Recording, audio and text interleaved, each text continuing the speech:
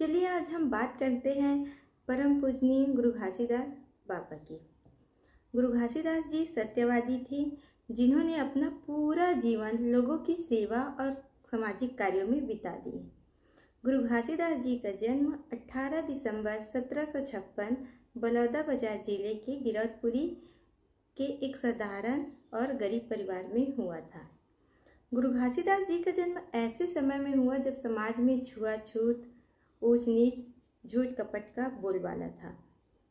ऐसे समय में बाबा ने समाज में, समाज को एकता और भाईचारे का संदेश दिया और बाबा ने जातिवाद समाप्त कर मानव मानव एक समान का संदेश दिया और गुरु घासीदास जी ने सतनाम धर्म की स्थापना की और गुरु घासीदास जी ने सतनाम धर्म में सात सिद्धांत दिए।